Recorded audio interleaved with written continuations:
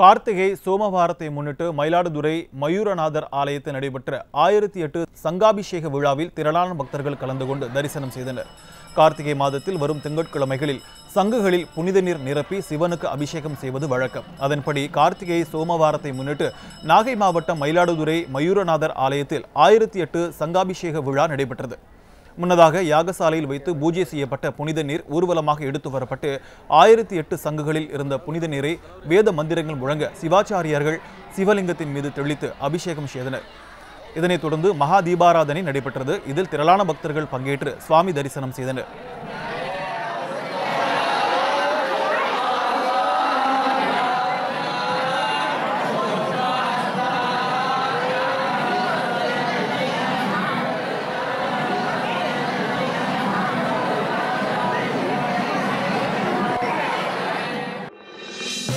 இது போன்ற முக்கிய வீடியோக்களை உடனுக்குடன் தெரிந்து கொள்ள நியூஸ் ஜே யூடியூப் சேனலை சப்ஸ்கிரைப் செய்யுங்கள்.